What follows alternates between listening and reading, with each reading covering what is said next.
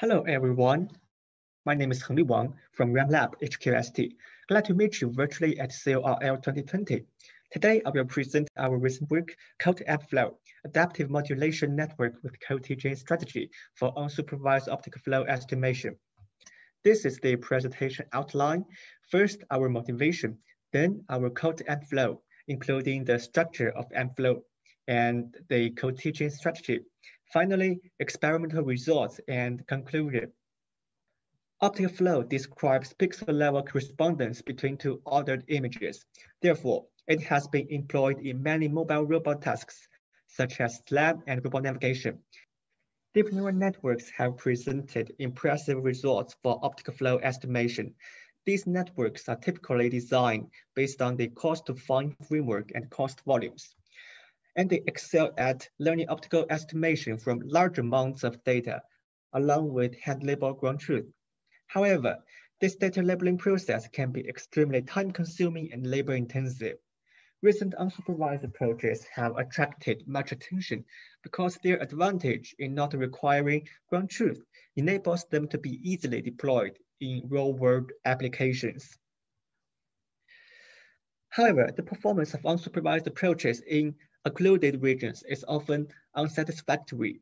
We analyze that this performance degradation is caused by three limitations, and thus we propose CoT-AMFlow to overcome them. And I will introduce this table in detail in the following. Uh, this is the structure of our AMFlow. We also adopt the popular coarse-to-fine structure, but add two new module types, FMMs and CMMs to improve the performance. Note that here we only show two pyramid levels for simplicity.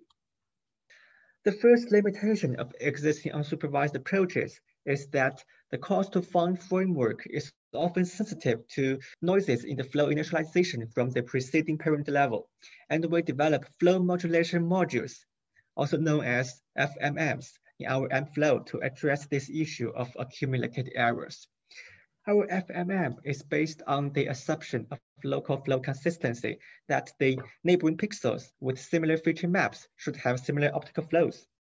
Thus, in our FMM, we employ the confidence map M and the self-cost volume CS to generate a displacement map D.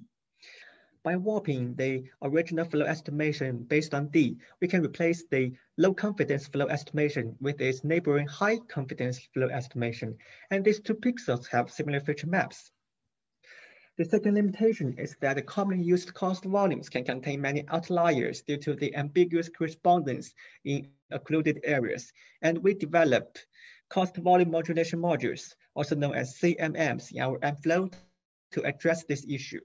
Several traditional approaches have formulated this denoising task as a weighted least squares problem. And we realize it by a flexible and efficient sparse point-based scheme based on the deformable convolution. The third limitation is that many unsupervised approaches rely on some prior information.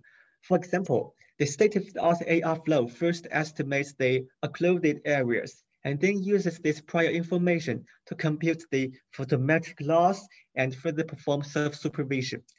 However, this information can be inaccurate because a single network can be easily disturbed by outliers when the ground truth is not accessible. Therefore, we propose a co-teaching strategy to address this issue. We let to AMFlows with different initializations swap their occlusion estimations this strategy can help them adaptively correct the inaccurate occlusion estimations to improve robustness against outliers. In our experiments, we test our CoT-AMFlow on three popular public benchmarks. We can observe that our CoT-AMFlow outperforms all other unsupervised approaches while still running in real time. From the demo videos, we can see that our CoT-AMFlow can present more robust and accurate optical flow estimations. The major contributions of this paper include FMM, CMM, and the co-teaching strategy. Moreover, our CoT-AMFlow achieves the state-of-the-art performance for unsupervised optical flow estimation while still running in real time. Thank you for your attention, and please feel free to send us an email if you have any questions.